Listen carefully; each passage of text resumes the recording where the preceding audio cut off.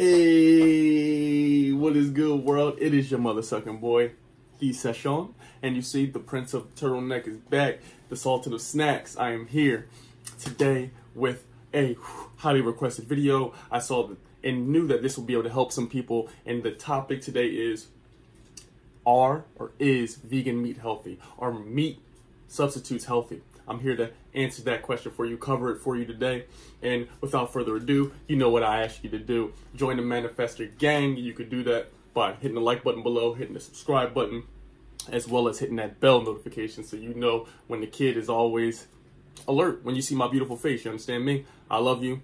Without further ado, we're going to get into the video, but I need you first to add me on Instagram at the session CA because you got to show your auntie who's feeding your mind, your body, your soul, and your spirit. That's me.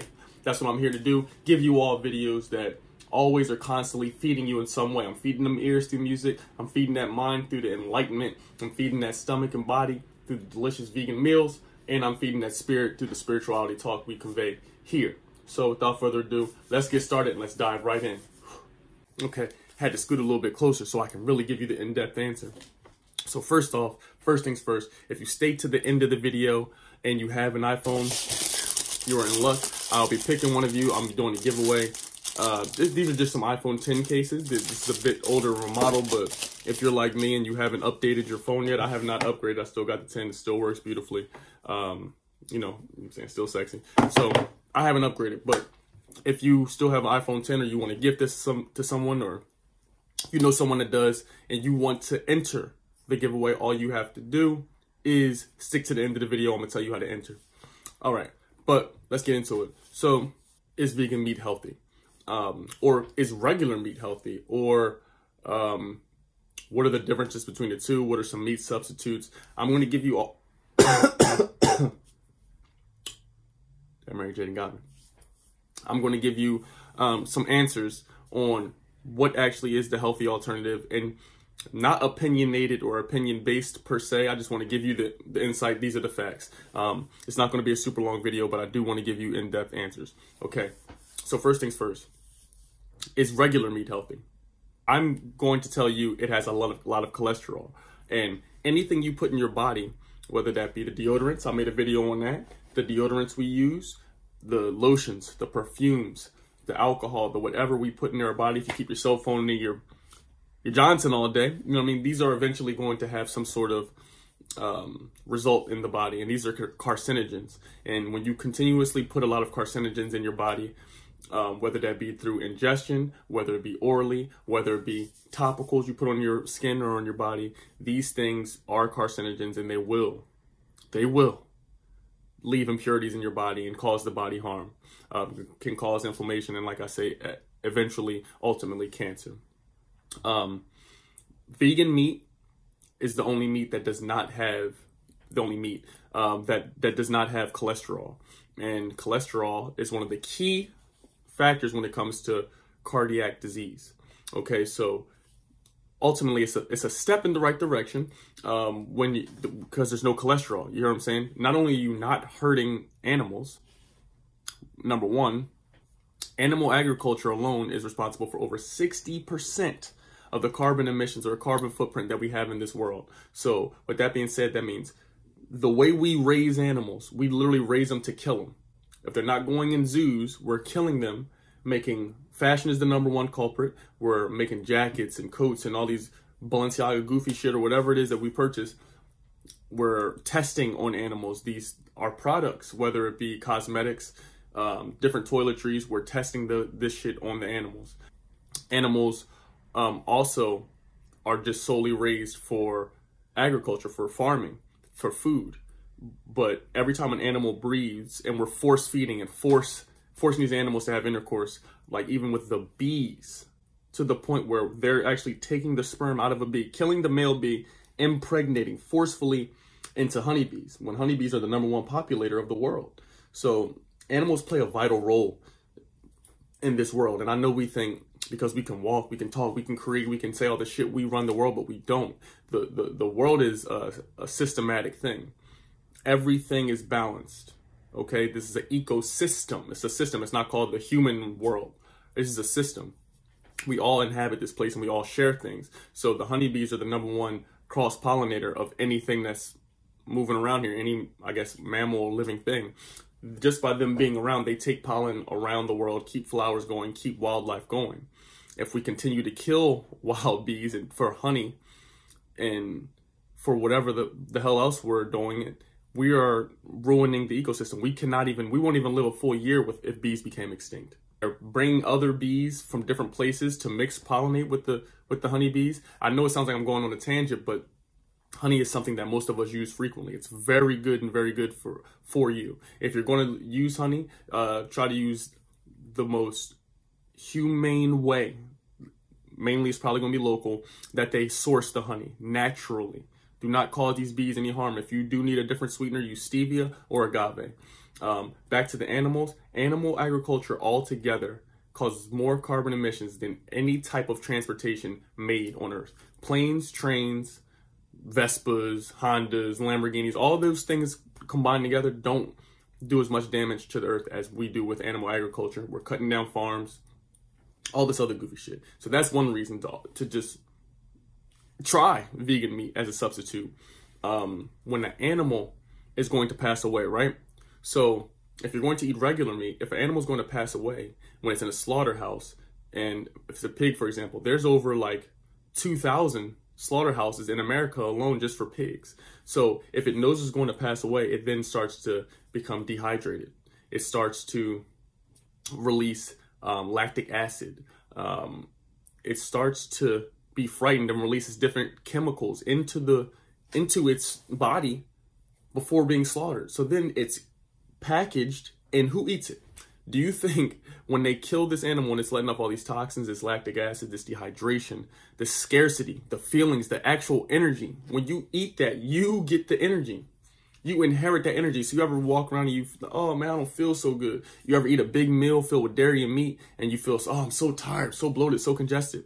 You've inherited all the negative energy that came from slaughtering that animal. You've inherited all the negative energy that came from the person who was slaughtering that animal and all the sicknesses, disease, and bacteria that the animal had in it. Whether it's a pig, chicken, cat, dog, bat, whatever, whatever you're eating, you inherit that energy.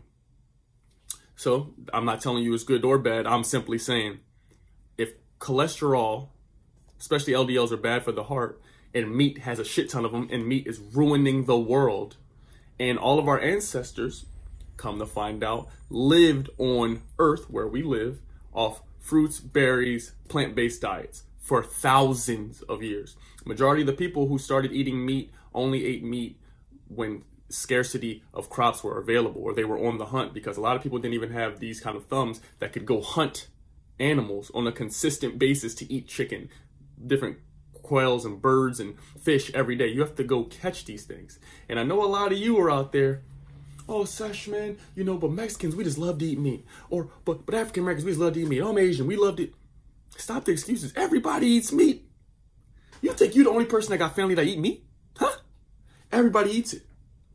But I guarantee you all of them people have some sort of your parents or your grandparents or in your family, there's someone has health problems. Five to six people out of every 10 people are going to develop diabetes or cancer. We have the 54th worst life expectancy in America. We spend most of our GDP on chronic health care, chronic health care and illness. So that's just trying to fight simple shit. We're out here looking at COVID and Corona.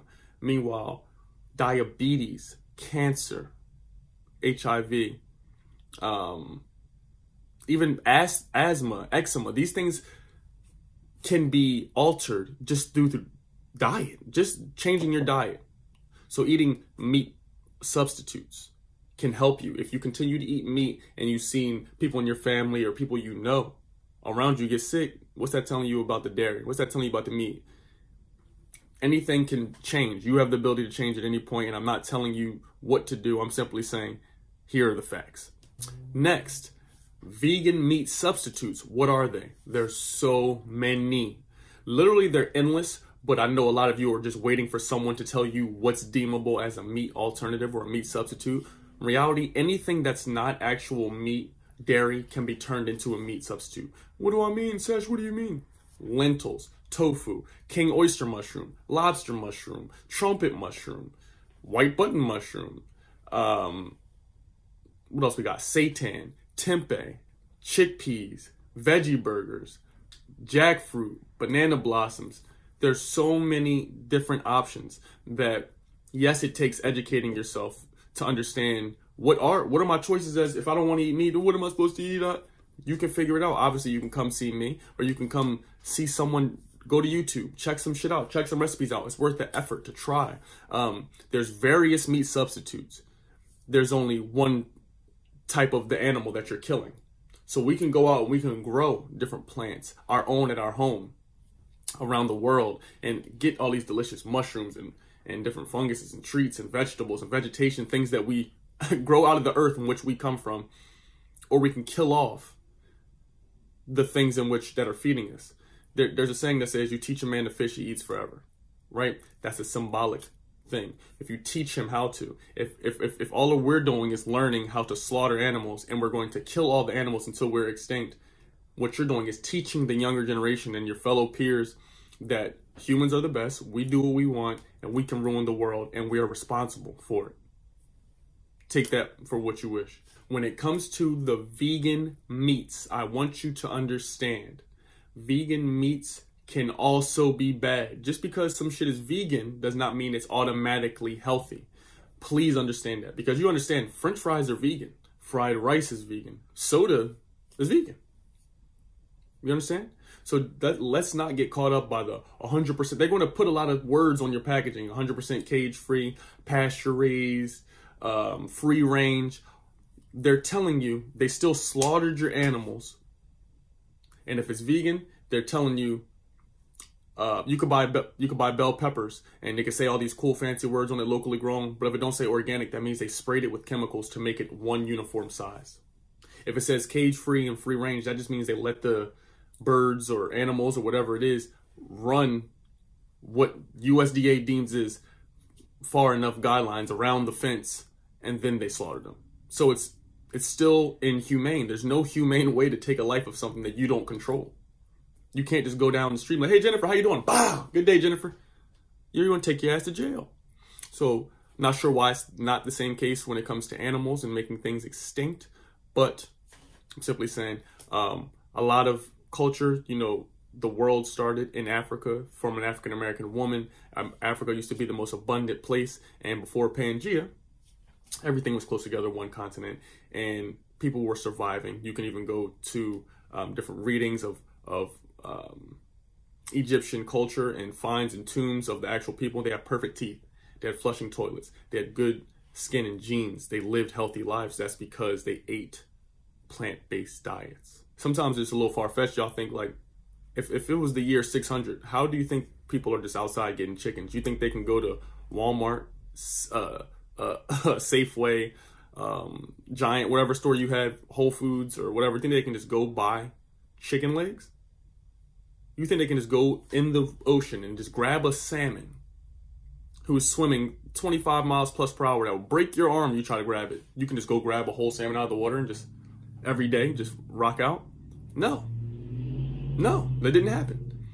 You had to it had to be certain circumstances where these humans caught the animal. Most of the time, the animals were actually the sacred thing, and the animal was only ate if it perished for non uh, uh, uh, uh sickness related reasons, or as it perished, they used the skin for wool and jackets and things of this nature. It's, it's very important to educate ourselves. And I say all that stuff to say the vegan meats can also be very unhealthy. Um, I know Beyond Meat um, is the one that's very prevalent. Impossible Meat is starting to hit the shelves and hitting the stores as well. Those things are very good. Um, and I'm not sure if they contain tons and tons of fillers and preservatives. I don't believe that they do, but they still have a lot of sodium um, and, you know, different like xanthan gums and gums and things that aren't always absorbable by the body and natural that we need in that amount. Um, I noticed that as I've been eating um, the Beyond Meat, for example.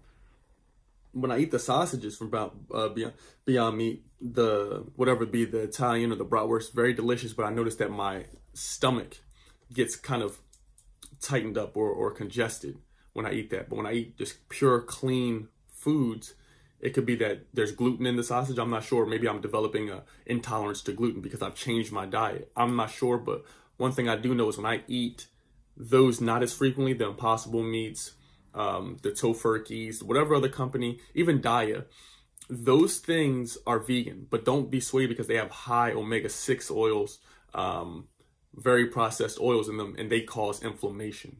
So please be aware that just because something's vegan does not automatically deem it healthy. I just want you to understand that the meat replacements I listed to you, the lentils, the various hundreds of types of mushrooms, um, the tempehs, even very, very good local natural made tofu can be very healthy for you. There's plenty of Asian markets. Instead of going to supermarket get tofu, take yourself to an Asian market where they import ingredients from their actual land, from places in Asia where they're getting you the actual tofu, the actual product. Just takes a little more effort, but once you do that, you'll feel better. I'm not telling you what to do. I'm telling you as a result. I ate meat for most of my life. Almost four years I have not, and I feel amazing. Look how amazing the skin looks. I, you know what I mean? It's the prince of the snacks. I'm not gonna lie to you. I have nothing to give you but game. I'm here to feed your mind. Um, so that's where I stand on it. Just because something is vegan does not deem it automatically healthy. Please make sure you read the back. I can guarantee you all know who the vegans are in the supermarket because we the people in the back reading. Okay, we got to read all the labels because we want to know what we're putting in our body. Call us weird if you like for wanting to know what goes in our bodies. And do me a favor when you see a person trying to change their life and eat vegan. Don't be rude to them and and, and ask them, well, what's in that? That's not even good for you. You're you don't even know what's in your beef. Where does your beef come from? Who made that burger? How much fat's in that burger? Where was the farm at? How did they treat that cow? What kind of diet did the cow eat? You don't know, but you'll go out and buy a $2 cheeseburger, but judge a person who's eating, who's looking to do something to better themselves. So all I ask is that you think with the information I told you and taught you and was able to come up with myself um, if you need some ways, oh, how do I make uh, vegan, chi- vegan vegan chicken? How do I make vegan duck? How do I make the vegan scallops? Oh my, you're here. You come to the right guy. You, the vegan chicken video is already out. We are about to touch 4,000 views on that. I'm very grateful of that. Make sure you go check that out. Um, I got my homie Aj in it. We made some delicious vegan fried chicken, healthy, no cholesterol, not in sight. And it literally was made out of three ingredients. You tell me. You bring the girl over, or ladies, you bring the guy over, you make that vegan chicken that's smelling aromatic. You got the sage burning. You chilling. Everybody's relaxing, drinking that alkaline water. Get you some sides on there. Come on now. If y'all ever need help, you know what you can do. You can check out the cookbook. Pop that up on the screen. The seven meal vegan, the simple seven meal vegan. If you also need any more help with the motivation, hey man, I need to, I want to know how to make more money. I want to quit my nine to five. I want to get more clients. I'm really have this job opportunity. I really have this entrepreneur idea, but I'm scared to chase it. I'm here. Make sure you click the description below because that's where my course is. Give me a visit on Instagram. Whatever you need, especially the recipes, I'm here for you. Vegan chicken recipe, make sure you go check that out. Um, that is it. But as promised, we're gonna do the giveaway. This is uh, the teal color, really dope. This is the red color. Um, I'm gonna be giving both of these away. All you have to do is comment below comment the word manifester gang. That means you part of the manifester gang. All we do is support one another, educate each other. Never be too grown or too cocky to, to not accept some information if it's intelligent and is correct. Be open. Type in manifester gang down below, and then you will be entered into winning both of these cases. I will be picking the winner uh, within the next three days. So I love you. I love you. I love you. Please make sure you hit the like button, the subscribe button, and I hope you gain some information from is in our vegan meats healthy. Um, just because something is vegan, I would stay away from the impossibles, the beyond meats. I wouldn't eat those all day. Once a week, once every two weeks, once every three weeks, you know, I mean? stuff like that. Get all these different mushrooms. You can even go to Costco. Um, I know I'm from Philly, um, so we got BJ's over there. Pause. But instead of Costco, there's Sam's Club. There's anywhere you can go get yourself. Go to a local market. Go to a local market. It is not only for the, the Karens. It's for us too. Go over there. Go to a local farmer's market. Get get familiar with them. They're gonna start giving you deals. It's to the point where I'm pulling up, bro. I'm friends with old Asian women, old Caucasian people, old Italians because of how I give the energy and the I'm in, interested in this food. I want to live longer. I want to taste different foods. So go out there. The more color the food has, the better for you. Um, another video coming, video every day. I love you. Until next time, stay lit, stay awesome, and stay medicated. You did.